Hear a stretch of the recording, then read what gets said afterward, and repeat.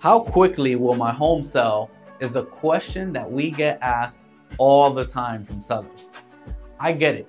The market climate is actually what's going to determine how quickly your home will sell. After being involved in a wide variety of transactions near Disney over the last six years, I get asked that question all of the time.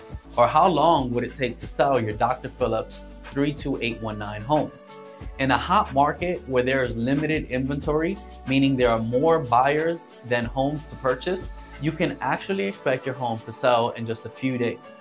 Although I highly recommend allowing the home to have proper marketing time so you can receive the most amount of offers with the very best terms.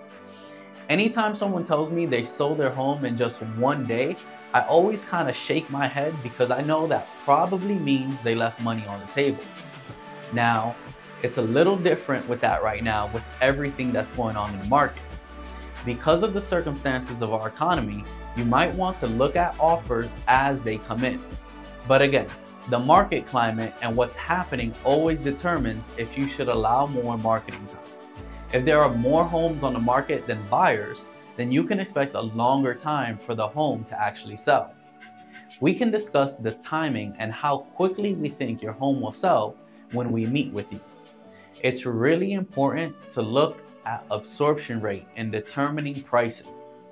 Absorption rate is a term most commonly used in the real estate market to evaluate the rate at which homes are sold in a specific market during a given period of time.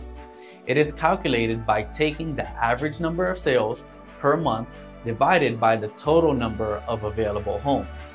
According to Investopedia, a seller's market would have an absorption rate that equals more than 20%, and a buyer's market would have an absorption rate that's actually lower than 15%.